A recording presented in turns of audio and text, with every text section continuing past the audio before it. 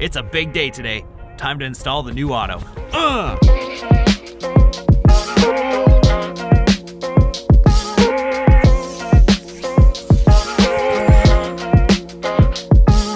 I just got word that the truck is on its way here. Richard Tilley's still in town. He'll be here in a few minutes. He's coming to set this thing up, and I know he's gonna do a killer job. I'm pumped right now. I can promise you this press is gonna be sick. This is the press that I've dreamed of owning since the day that I first picked up a squeegee. So my level of excitement right now is up here. I'm also excited to drive this bad boy some more.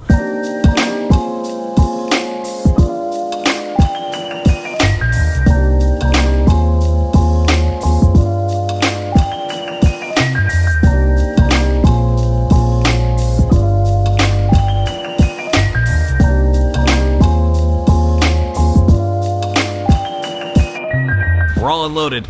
Time to get to work. I bet you guys didn't know that I'm forklift certified. See? Yep.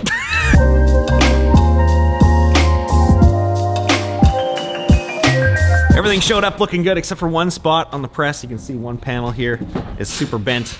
Shit happens in shipping. We'll we'll figure that out. We'll straighten it out. We'll maybe get them to send me a new one. I don't know. Not a big deal. This guy's not wasting any fucking time. We got work to do. I've been waiting for three days. Imagine if like you had a UFC fight coming up, right?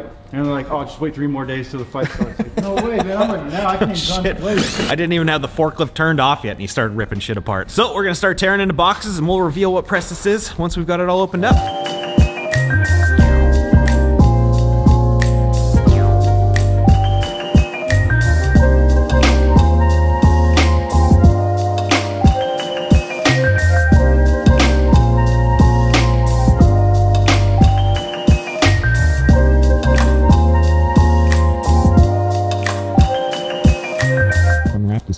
Is my favorite press of all of them. The whole lineup. Don't get this part. You want to unveil it? You want to do the pull out? Shit! Here it is, man. Let's see it there.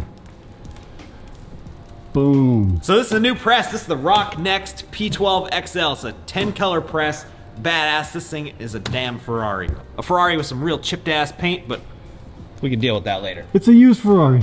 I'm just. It's a new Ferrari, but It's a looking, new like used- a, it's yeah. looking like a used Ferrari. yeah, it's a delivery guy. Can't get his shit together. So there's a lot of crazy stuff that this press can do, but probably the biggest thing that makes this press so special is that we now have individual print head control. So with the last press, all the print heads raised and lowered in unison, which is fine, but when you're using accessories like the Stampinator, which I had on there, it was a little bit annoying because you'd have to time out a squeegee on the press to be super slow to make sure that the Stampinator had enough downtime. But with this press, all the print heads are individual, so it operates kind of like a big ass spider. You can set each one to its own time frame, which means using accessories like the Stampinator is gonna be amazing. And plus we have 10 colors, so that now opens up a whole new world of possibilities because the most that I've ever had in my entire life was eight. So yeah, pretty stoked right now.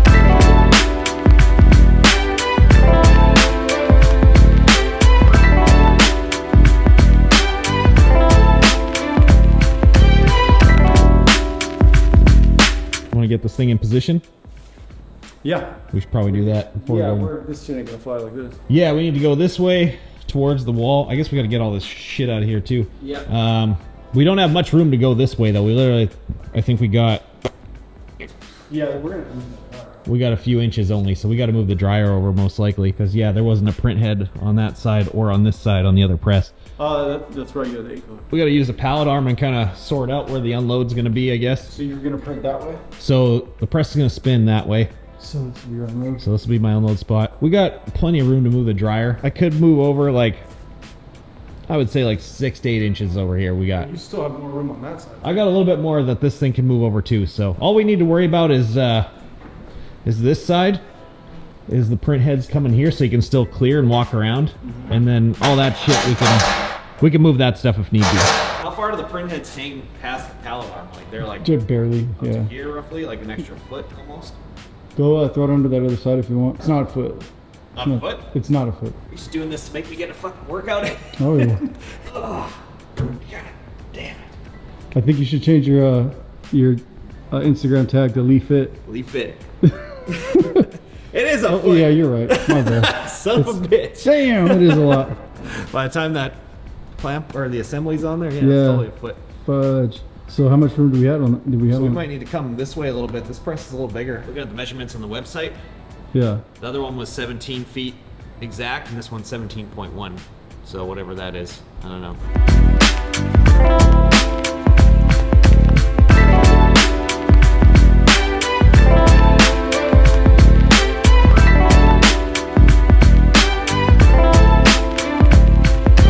That's all 10 heads on already. My guy's not playing around. Oh no. So what's next? So I'm gonna do. I gotta take all these these nuts right here off, and then take off these uh, snap rings right here. Pull out the support bar here, and you just put the lifting arm right there. You do ten of those babies. From there, I'm gonna quit. No, I'm just kidding. Uh, I just really want to print so bad, man. Yeah. So that manual printing isn't for me. How you feeling about this being a one-day build? Man, this is what I do, man. This is just what I do. That's the confidence I'm looking for. What I do.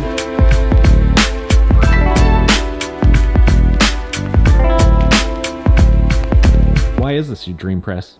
Why is this my dream press, man? Um, because the like you said earlier, the uh, individual lifting cylinders uh, gives you a lot of freedom to do to have your accessories. Um, you have full control of the entire press from the display, uh, including flashing, uh, printing. You can actually push buttons on the display and print. So you can send uh, the shirt or the palette, whatever you want to call it. You can send it to any print head you want, send it back, send it to your flash, flash it, send it to test print, come back to you, make it dance, man. You do whatever you want. The U press, you know, although I love that press a lot, it was my first press. Um, it just doesn't have as many cool features like that. And I think that that's what makes Roq Press is so much more unique than other uh, companies. Really cool thing about Roq, like even for you, Lee, like if you if you think that there's something that you feel would be more beneficial, um, they'll listen to you and they'll work with you to get it done. Even if it's, if it's like a programming thing, like hey, I think if we did this, this, and this, the engineer team would get with you and you they would figure it out with you. And I don't think other companies would offer that.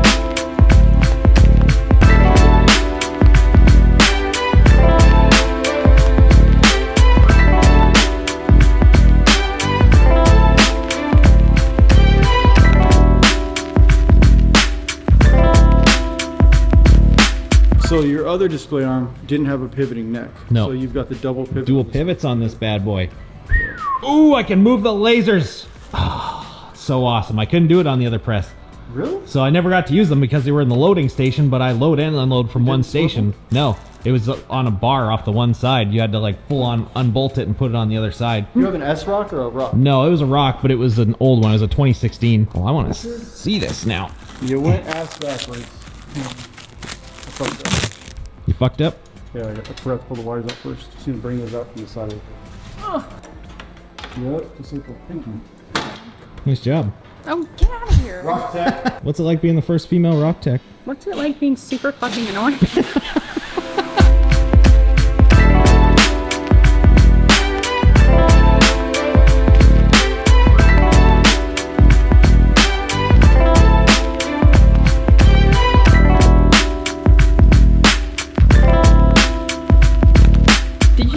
you know that you can't put both your hands on your knees and look backwards at the same time? Really?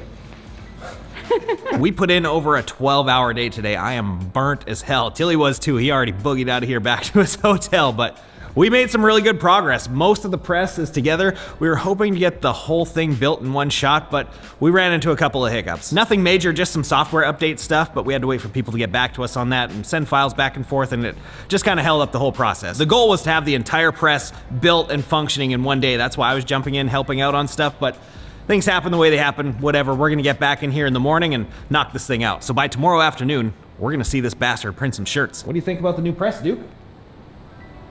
Anything? It's got nothing. I'm tired. To be continued. Day two. We're gonna see this thing dance today. There's so much snow. Cold out today, huh? What's up, bro? Brought in backup. Always, man. Always Oh, ready man. to go. What's up, bro? Nice to meet you, man. Pleasure to finally meet you, man. too. Pleasure, dude. Well, that's not good.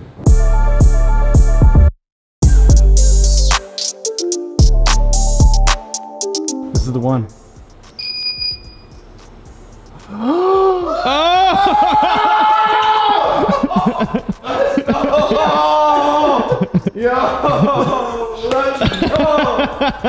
Oh, man. All right, let's do it. We got to drop 20 piece. What the fuck are these guys doing?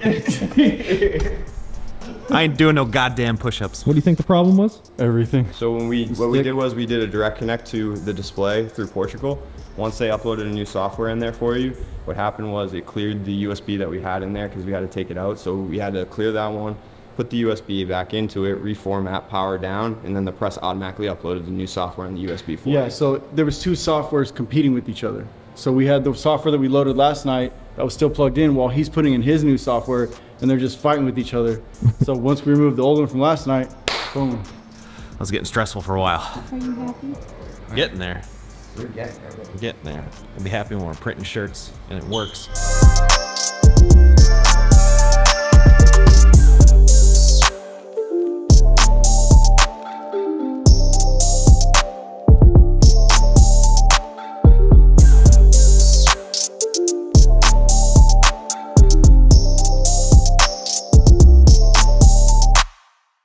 Press is together. This thing looks insane. These guys killed it oh, so hard. Get in here. Ugh.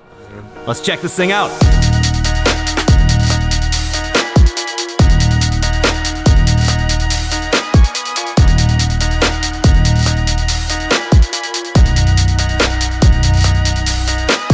Oh man, I just want to print something, bro. Yo, we got to print. Yeah. we've been, What are we we've waiting been on? waiting What- on How it. do you feeling, bro? Yeah, how you feel? Crazy, crazy. This thing is absolutely bananas. Seeing this thing run, it's just, it makes the old press look like a cereal box toy.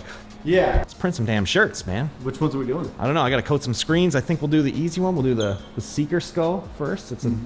one color, front, back, but two screens per side. Kind of Yeah, just ease into it. yeah, baby just the tip.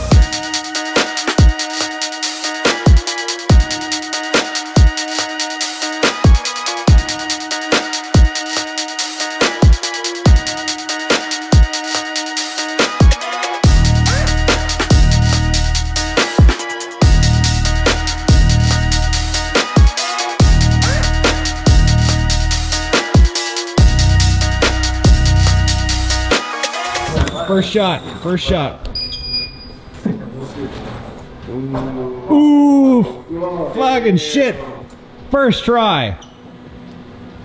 Damn, bro, good shit, man. First try, Good we're shit, on. Bro. That's probably the best print Game. ever. There's definitely a few spots I can clean up, Yeah. but uh, I think that's gonna come down to adjusting some squeegee angles and shit, especially on the top one. Yeah. I'm gonna run it sharper for sure on this one. Mm-hmm. Oh, dude, That's, nailed it. Oh, so much stress just fucking lifted off of me. You have no no idea how good this feels right now. After like a year of stress and struggling with that other press. Oh, Game so good. This is retail quality, even above. This is artistic quality. Yeah, this this is like, yeah, this is above retail quality. This is impeccable. I chose this design for a reason too, because this thing is obviously super wide and really long, and just the sheer amount of registration problems I've had over the last year. I was not fucking around today. I wanted to make sure we were gonna be good, and the fact that this came out on the first shot, the new press was a good call. Well, you guys ready to print like 70 of these? Let's go.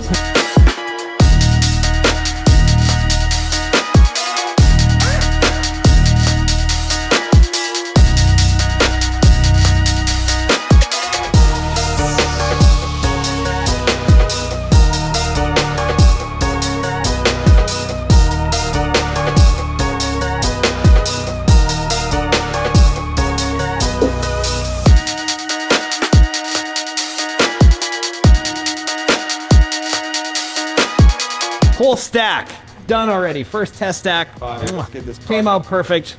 Let's print the fronts.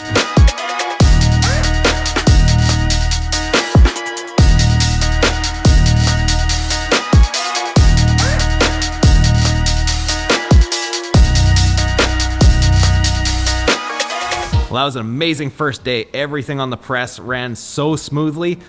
Both prints registered first try in like what, under a minute? Yeah. Yeah, it was quick. Ridiculous. So we're gonna wrap it up here. We're gonna come back again tomorrow. We gotta finish the front side of these shirts still, and we've got one more design to print yet, which is gonna be so much cooler than this one. Thank you, fellas. Dude, of course. Pleasure, man. You guys, Pleasure. Spent, what are we on, like eight lifesavers right here. Yeah, I was not feeling work. auto until today. Now I'm really feeling it.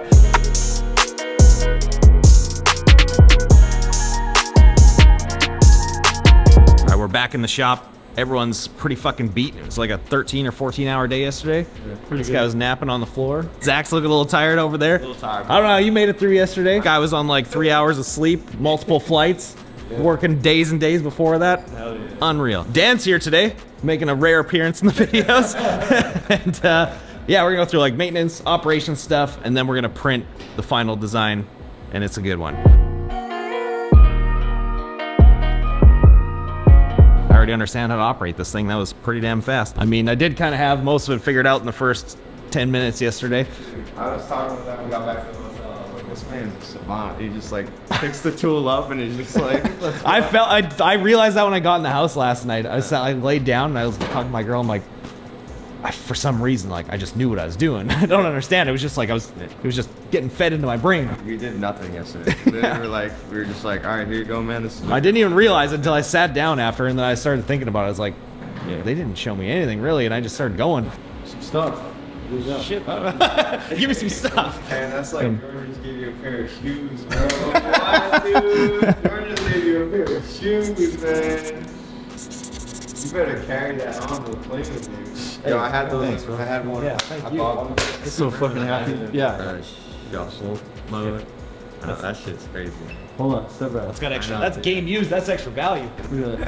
I bet you don't have one of these. Everyone's gone now. I didn't really film a whole lot of that because I kind of wanted to just hang out and spend some time with my friends before they left. But I've got the shop and this beast to myself now, so it's time for my first solo mission. I'm gonna be doing a two color front, two color back, so three screens per side. Not something super complex, but considering my history with the previous press, that's enough to take on for now. This design is super sick though. I've been wanting to print it for a very long time, so let's make this happen. I'm not gonna lie, I'm kind of nervous right now. This thing freaks me out a little bit.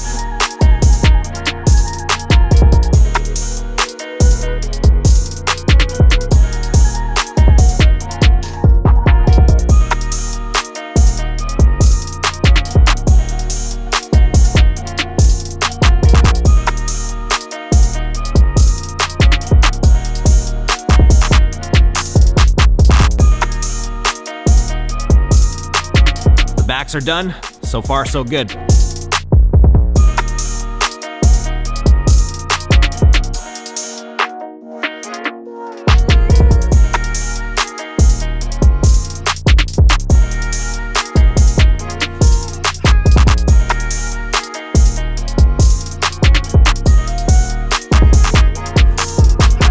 That is all 75 shirts printed front and back, done. And I only had two misprints throughout the entire run, and both of which were the result of trying to film and operate this thing at the same time, so I don't even count those, they both could have been avoided.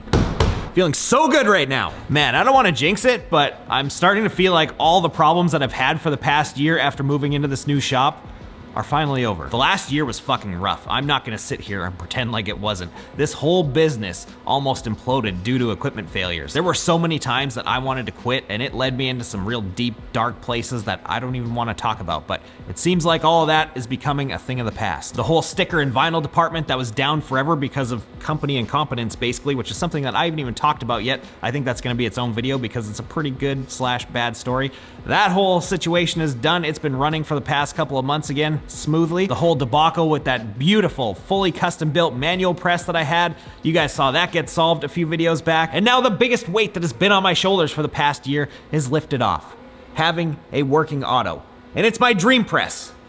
Mmm, I'm so happy right now. I just want to yell like a crazy person. That first run with this press could not have gone any better. I thought the learning curve of this machine was going to take a little bit longer than two tiny little piles of shirts, but I already feel 100% comfortable with the basic setup and operations of this machine. We did say this press is like a Ferrari, and that was no joke. All the features and cool bells and whistles that this thing has make it such a treat to operate, and it makes it incredibly easy. It's actually kind of amazing. These shirts turned out pretty damn well too. I think for most shop standards, they would say, hell yes, these are awesome, and kind of leave it at that. For me and my standards, however, I'm gonna call them eh, 80 to 90%. Definitely a job well done for my first run on this press and like, I don't know, my third or fourth in total on an auto, and far beyond what I could print on a manual, so that's awesome. But I expect a lot more out of myself now. I've got a world-class machine in my hands, and I wanna work at a world-class level, but I think that's gonna come in time as I practice and play around with settings and really learn how to print on an auto like a pro, and that's gonna be part of the fun of having this machine on the channel now. We will definitely cover all of that and all the cool stuff that this machine can do in future videos. But for now, we're calling everything that happened here today a big win. Massive, massive thank you to everyone at Ryonet who helped make this happen. You guys are amazing. They had to listen to me bitch and moan and get pretty nasty a few times over the course of the past year, and they never wavered once. They kept pushing to make this thing right, and I am super grateful to have the people there who have my back. If you guys are at all interested in this machine or any sort of Roq stuff, get in touch with Ryonet. I put a link down below for you guys to do that. And of course, another big thanks goes out to my boys, Rich and Zach from Roq, for coming out here and setting this thing up. They left no detail unchecked. I know in the video it probably looked like we were dicking around a lot and having a good time, but those dudes are true professionals operating at the highest level. If you want to get a press installed, that's definitely who you want to ask for. They are two of the best human beings that I know, and I'm proud to call those dudes my friends. But I am exhausted, so I'm gonna go revel in this moment for a while and then sleep for like a week. Please click the like button down below for me. That helps push these videos out a little bit further. And make sure you're subscribed because I'm operating at full force again. Shit's about to get real. Thank you guys for watching. We'll see you again in the next one. Oh, great. I can't see shit. Mine, Lee Stuart. L E E S T U A R T. Find it on YouTube. yeah. Forks down, forks down. Ah, I got it. So this is the new press, the Roq P. Wow, fuck. so this is fucking shit. Let's go. Something like a Stampin' Air or all cut. Fuck. Ah. Did you go to the gym this morning? No, this is it. I knew I was. I gonna- figured. I saved my energy on purpose. Just a little press build on a Friday. Yeah, just a freaking three-hour workout straight. I'm holding this heavy camera, man. I'm really feeling it in the biceps right now. Bis, tries, the delts. This is actually probably the most I've stood up in a long time. This week's tech tip. Do good work. Now he jumps in. like I'm doing something. Presses all Bill. He starts taking some off. First time he's contributed. Jeez. Love it. Just so I can take all the credit. Thank you. Ooh, it's all anodized green and shit. Oh, nice.